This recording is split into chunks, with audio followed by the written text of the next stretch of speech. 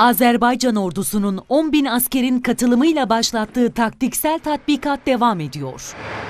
Azerbaycan ordusunun Dağlık Karabağ zaferi sonrası gerçekleştirdiği ilk askeri tatbikatta Türkiye'den alınan Bayraktar SİHA'ları da kullanıldı.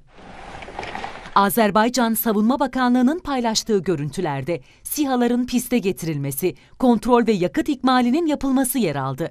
Havalanan SİHA'lar temsili düşman hedeflerinin tespiti ve kontrol noktalarına aktarılması görevlerini icra etti. Tatbikat 18 Mart'a kadar devam edecek.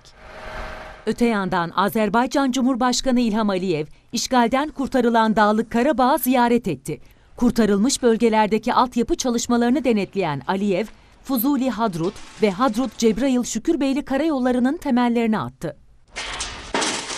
Hadrut'taki temel atma töreninde konuşan İlham Aliyev, yeni yolların yapımının işgalden kurtarılan bölgelerin imarında büyük önem taşıdığını belirtti.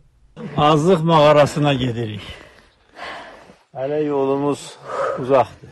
Azerbaycan Cumhurbaşkanı Dağlık Karabağ ziyaretine Şuşa kentinde devam ediyor. Azlıq Azərbaycandır, Qarabağ Azərbaycandır.